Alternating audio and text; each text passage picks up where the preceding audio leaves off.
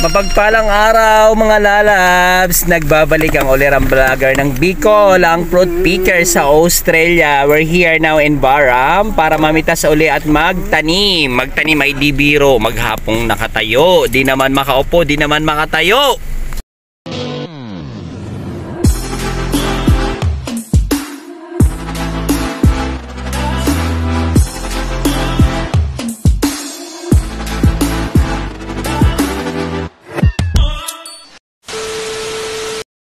Ito na mga lalabs, nandito pa po kami sa aming car. Nagpapahinga muna, warm up muna mga lalabs. Kung kayo po ay bago pa lamang sa aking channel na nanonood ngayon, mga lalabs, huwag nyo nang palagpasin yan, like, comment, share, and subscribe. And pahit po ng bell button para ma-notify kayo sa mga video na pinagagawa ko dito sa farm ng Australia. Ayan lalabs. Malamig, sinyalis na malapit na talagang winter. So nandito pa po kami, naghahanda na kami mga lalabs para sa pagharap ng panibagong umaga na punong-puno ng pag-asa, lakas at tibay ng loob para sa ekonomiya ng ating bansa. Ito na mga lalabs, kailangan natin maghanda, isuot ang kagamitang pandigma. Ups, ups, ups, ups!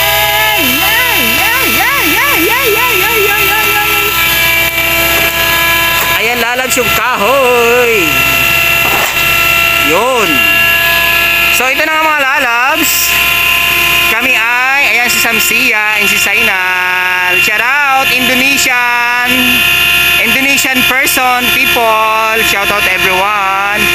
Ayan lalabs ang aming production. Hindi na kami ngayon nagpuputol. So after picking the broccoli, put in the box and no need to cut the stem. And then ilalagay po doon sa pallet broccoli. Ngayon po ay kailangan po ay nakabota at nakakapote. Ayun si paring Gino, shout out. Ayan ang dalawang person, Luan Sing.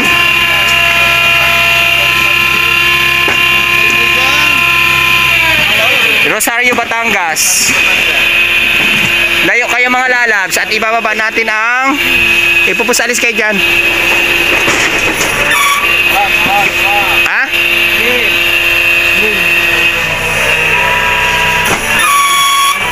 Paano ba to? Ayun. Ang bilis. Okay. Thank you. slowly. And surely. and after the pops. okay mga lalabs, start na tayo. Ayan si paring Gino. Ang mga, oy, hi, hi, hi, hi. So kailangan natin kumuha ng box.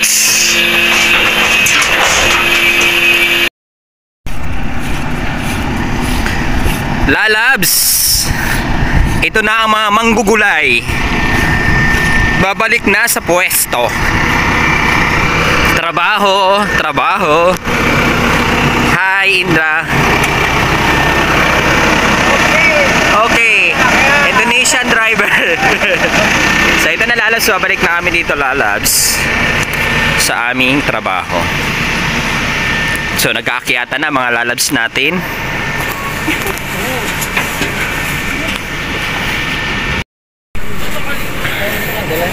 Kono, ito kono.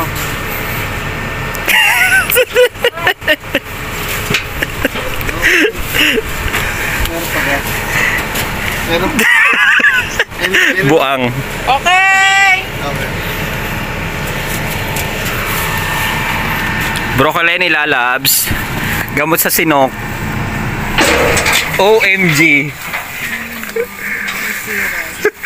Masisira ang makina. Ba't wala yung... Ilan na tayo?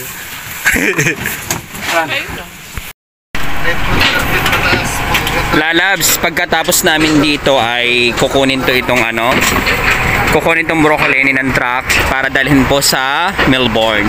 So ang pinagdadalhan pa na nito mga lalabs yung napitas namin, hindi po didirekta siya sa ano, sa supermarket.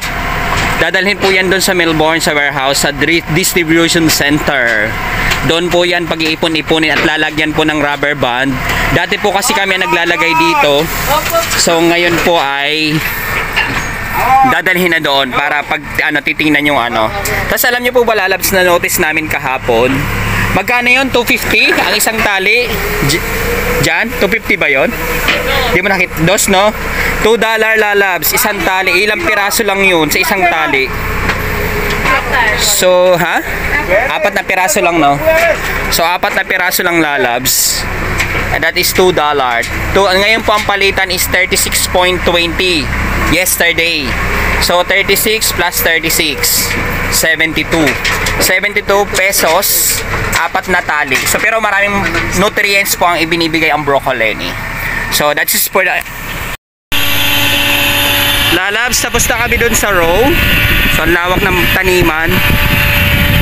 So, ngayon po ay lilipat. Ganon-ganon lang, palipat-lipat ng lalabs. Ito mga empty. Lilipat kami doon sa kabila. So, lalabs hourly pa rin ang sweldo namin dito. Hindi pa kontrata. So, ganun lang kasimple ang trabaho dito, lalabs.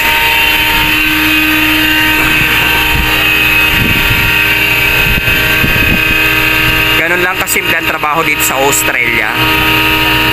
Habang nagtatrabaho, nag enjoy kasi mahirap gawin ang isang bagay na labag sa kalooban natin. Dapat po sa mga trabaho natin lalabs ini-enjoy natin. Of course, magiging masaya tayo pag malaki ang kikitain natin, malaki ang sapat na babayaran yung pagod na ginagawa natin sa ating trabaho. Pero siyempre, napaka-importante din na uh, natin natin ibibigay yung best natin na lagi natin isipin na ano, i-treat natin ang sarili natin na this is the last job for me. Kaya kailangan ibigay ng todo. Kasi tayo lalabs, tayo rin ang magbibinipisyo niyan. Tayo ang magmag-aanin niyan doon sa mga bagay na ginagawa natin patungkol sa kumpanya na pinapasukan natin. Dahil tayo ano, tayo ang mag-aani. Naisipin natin na hindi tayo nagtatrabaho sa tao kundi sa Lord tayo nagtatrabaho. Kasi ang reward lagi nasa Lord. Kasi sa tao, pwede tayo mabigo, pwede tayo mag-expect, pwede tayo umasa. Pero minsan, hindi natin nakukuha. Pero pag sa Lord tayo umasa, sa Kanya tayo nagtiwala, ayan, makukuha natin yan panigurado. Kasi ang Panginoon ay never niya tayong tatalikuran sa lahat ng Kanyang ipinangako. Lalabs, tingnan nyo ang trabaho ng mga vegetable picker, mga Pilipino. Hindi mo alam kung anong pinagagawa. Sinasahuran niya ng kumpanya, kasama yan sa sweldo. So ayan, may nakaupo, may nakatingala, may nagmamarites, may nag-umiihi doon. So ganito lang lalabs, ganun kasimple. Ang buhay ay makahulugan. Makahulugan at makabuluhan. Lalo na pag ito ang ginagawa natin everyday. So ang saya, maraming kapupulutan ng aral. Di ba lalabs, nakakahasa ng utak? Pero, dolyar ang sweldo. So ayan lang oh, may naghahanap ng bingkay ng shell. Baka sakali. Oh, pero yan, nakapagpatayo na may apartment yan, house in lot yan sa Batangas. Hmm, ganun-ganun lang yan. At yung iba, bibili na ng house in lot din. Ito lang naman ang ginagawa namin dito mga lalabs, ay kukwentuhan. Paminsan-minsan nagtatrabaho. Joke lang! Ay, baka maniwala. Sa mga nag-ano, sa mga nagko-comment dyan, lalabs nagtatrabaho kami ha. At itong pagbablog na ginagawa ko lalabs sa free time ko lang ito ginagawa. Lalabs ang oras ngayon ay 1.34 ng hapon. So ngayon po ay tapos na kami ng break time. Ang break time po namin lalabs ay 30 minutes at sumusobra pa sa aming lunch. Sa smoke or sa merienda, ganun 15 minutes pero sumusobra pa. Ngayon mga lalabs, ang gagawin namin ay babalik na kami sa aming trabaho kasi di ba kalabisan naman yung sobra-sobra. So kailangan natin magtrabaho kasi nakakahiya naman sa kumpanya kung wala tayong production na ibinibigay. Samantala sinasahuran tayo ng kompleto. Pero sa ating mga Pilipino dahil likas na masisipag tayo, kailangan natin magtrabaho. May boss o wala, still working. We're not pretending na nagtatrabaho tayo pag nandyan sila kasi totoo tayo mga Pilipino sa isip, sa salita at sa gawa. So, lalabs ngayon po ay cloudy at malapit na po dito mag umulan. Di joke. Cloudy lalabs close book ngayon. Dapat hindi umulan. Dapat hindi kami umuwi ng maaga para makakompleto kami ng 5 days. Pero ang trabaho dito lalabs ay 6 days. Ang rest day ay Friday. Ang sahuran ay sikreto lang. Baka malaman nyo. Baka malaman nyo kung kailan kami susweldo. Ayan po lalabs yung mga nakikita nyo. Yan po ay brocolini. So yung ginagawa namin lalabs, yun po yung bunga ng ganyan. Yan po nag-uumpisa. Titingnan nyo, napakaliliit pa dyan. Tapos yan sa gitna, madamo. Ngayon po ay hindi umulan, kahapon hindi rin. Kaya tuyo ang lupa. Kaya masarap magtrabaho pero mahamog. Kaya nakasuot kami lagi ng bota. At yung iba dyan naka-jacket pa din. Katulad niyan. Mainit sa katawan yung lalabs since ang katawan ko ay asin, pawisin, kaya hindi ako pwede magsuot na magsuot ng ganyan. Kasi sigurado, tinalo ko pa ang lumusong sa lakas ng ulan. So habang nagaano, habang pupunta sa aming ano, destination, nagkukwentuhan muna ang mga lalabs natin diyan. Paroroon tayo doon. So ngayon po ay mag-brocolini at bukas ay magtatanim tayo. Magtatanim tayo ng bala. Joke. Ayun lalabs ang lawak po dito. Ang dami pang tataniman oh. At ang balita ko lalabs na ngailangan pa dito ng tao. Kaya abang-abang lang mga lalabs natin dyan sa Australia.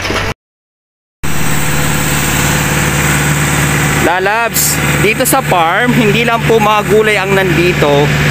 Isa po sa pagmamayari din ng ano ng farm na ito yung mga bakahan. Bakahan, kambingan, kalabaw. So yung nakikita nyo po dyan sa loob, napakayaman po na may ice. Itong pinapasukan namin lalabs, isa to sa pinakamalaking farm dito po sa Barham, New South Wales, Australia. Para sa dagdag kaalaman lalabs. Lalabs, oras na naman. So ngayon po ay nagnakaw po. Nanguha po ako ng ipapamigay natin sa mga lalabs natin. So ayan po ay goods. I- galing po dito. Kukuha po ako at ipapamigay. Para naman makatikim naman ang mga lalabs natin dyan. At alam nyo po ba mga lalabs? Alam nyo po ba mga lalabs? Para sa inyong kaalaman, ang usapan namin dito nung nagpunta kami ay magtatrabaho lang kami ng tatlong buwan. Ngunit ang nangyari ay may offer ang bankers. Lalab, pwede daw kami mag-isang taon dito. Sekreto lang natin yan mga lalabs. So pwede kami dito mag-isang taon sa trabaho na ito. Kaya napakasarap. Alam nyo po ang pakiramdam na kumakain ng gulay araw-araw. Kung hindi nyo pa nasusubukan yan, dito yan. At alam nyo po ba ang pakiramdam na nagtatanim, na nagdala, nag, nagwawasiwas ng itak? Dito lang din po yan. At natatawa sila lalabs. yeah, they're all, yeah, yo, that, you know, I said, the, apa-apa, the itak. And then the, yeah, Wedding. the wedding, yeah, I said like that. Only here in Baram. So that's the reason why. Because we have friends here in Indonesia. So I speak Tagalog, so I translate already. So, yeah, yeah, the wedding, Everything. yeah, planting. So only here in Baram sa we can do wedding, planting, vulcanizing, and bring sayor. So this is free lalabs and you can eat this one every day. And then this is full of nutrients. Lalabs, napakasarap po niyan. Alam niyo po ba kinakain ko po yan hilaw? From there, pipitasin ko po yan and I eat directly. So hanggang ngayon, still I'm alive. And doing video na pinapanood yung lalabs. Ano yan? So ito na mga lalabs, still like cloudy today. Ayan lalabs. At syempre lalabs, pag tuloy-tuloy ang trabaho natin, sigurado tayo nakikita tayo. Kikita tayo ng malaki. At hindi natin kailangan magpalipat-lipat. Lalo pag inoperan tayo lalabs ng isang taong trabaho dito. Ewan ko dito sa mga lalabs ko kung tatagal sila ng isang taong. Kasi ang klima dito lalabs, ang weather dito, klima po lalabs na iba-iba. So ngayon po ay pa-winter and magpapalit na rin po ng oras. mag adjust po ng isang oras. Lamang tayo ng tatlong 3 hours, no? From Australia. From Philippines to Australia. 3 hours same in Indonesia, right? 3 hours. Yeah. By tomorrow? Yeah, tomorrow, ah, tonight, 12 midnight. Ah, 4 hours in Indonesia. But in Philippines, 3 hours. So yan po lalabs ay mag magdadagdag. 3 hours! change the clock. Tomorrow. Yeah, yeah, tonight. Tomorrow. Yeah. Two hours. Ah, yeah. Today. 3 hours. So magche-change lalabs, 3 hours na magiging agwat ng Pilipinas sa dito sa Australia. Ayan mga lalabs, maraming maraming pong salamat, Uncle. Salamat. Salamat, salamat, salamat. Sayor, sayor. So, ayan, lalabs still cloudy. Pauwi na kami tapos na po ang 8 hours today. Maraming maraming pong salamat sa patuloy na pagtutok at panonood ng aking mga vlog sa mga pinagagawa namin dito sa Barham, New South Wales, Australia. Huwag po natin kalimutan ngumiti at magpangiti ng kapwa. Ano ang masasabi? What can you say about my our vlog today? Samsiya, Sorry? what can you say about, you want to say something? You want to Ramadan Karim. Ah, happy. Yeah. Because today I'm very tired. Oh yeah, in the morning. I will go home, take shower, then sleep, rest. Eat first.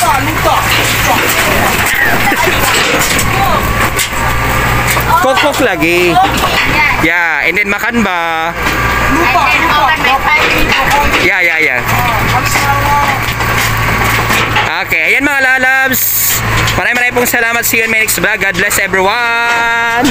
Bye, bye, bye, bye, bye, bye, bye.